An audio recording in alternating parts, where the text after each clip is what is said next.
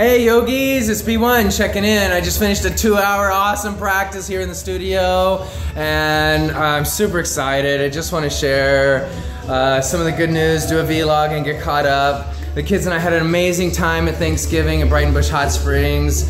Uh, we bonded even more than before and like it's just it's just getting better and better with them. Uh, I'm feeling so blessed and so grateful.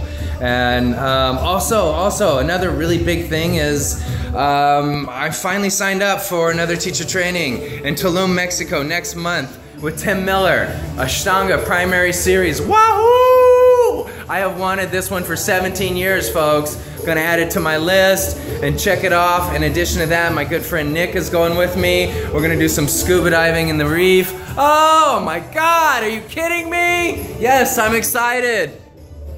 Yes. Oh, and on top of that, you guys know I love my balance wheel. Love, love, love my balance wheel. Do my dishes on it, the laundry, cook dinner, uh, take the trash and recycle out. I don't know, I take it to the park, I go riding out. This is just the kids' model, and, and we have ridden the crap out of this thing, you know, um, and zero issues, by the way. So for those of you who have heard about the fires, I don't know, all I can say for me is it's awesome, and I highly recommend it.